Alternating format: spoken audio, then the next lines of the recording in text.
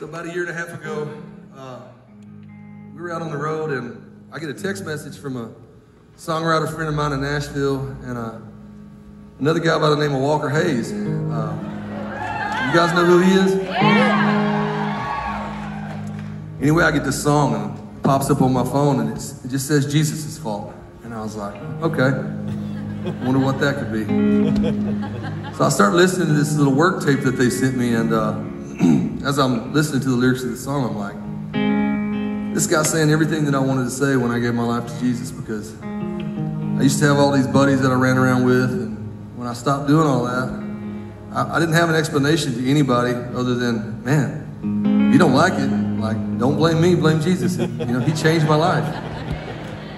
And I thought, man, I got to record this song because I know a lot of the folks that come to my shows um, can totally relate to, to to it being Jesus' fault. And so um, I called Walker and I'm like, hey man, um, I love this song. I said, but if I'm being honest with you, I said, there's a lyric in the second verse that if I could rewrite it, I would because I didn't have that relationship with my with my dad.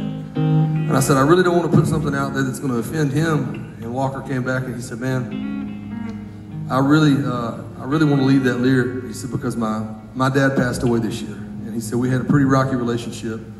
But we mended it before he passed away. And if you don't mind, I'd just like to leave it like it is. And I said, you know what? I'm fine to do that. I said, I can I can totally respect that. And I said, uh, I'm just gonna I want to record the song. I said, I'll tell you what, why don't I go record it? And if you like it, you can be a part of it. You'll sing that second verse. So I went and recorded the song, and I sent it to Walker, and uh, he loved it and decided he wanted to sing on it. And so I thought, well, we're doing this tour with Ben. I kind of know Ben has a similar story with his own dad. And uh, I send the song over to Ben, and I'm like, hey, would you want to sing this part every night when we come out and, and sing this song? And he called me and he was like, dude, that's pretty heavy lyrics. And I was like, yeah. He goes, he said, yeah, my dad, um, he's, he's never told me that he loved me. And I was like, whoa. I said, well, I'll tell you what, why don't we just, why don't we just have you sing this song every night? And we'll just pray that before this tour is over, your dad will tell you he loves you. Come on. Amen? Come on, yeah. We got two shows in, and Ben gets a text from his dad and says, Ben, I love you, son. This is Jesus' fault.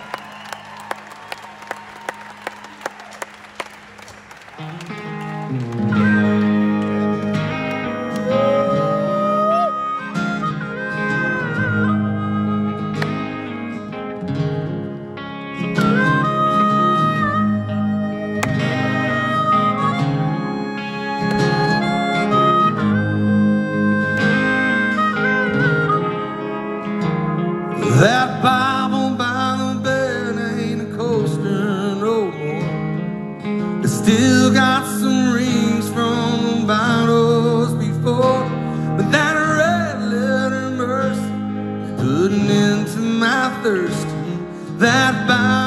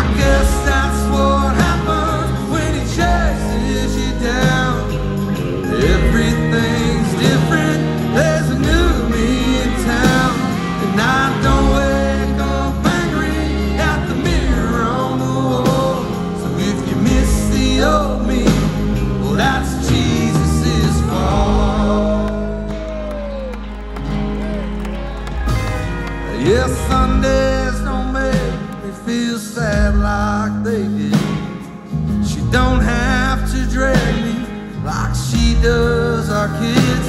And I still got some questions, but I'm counting my blessings. Yes, Sundays don't make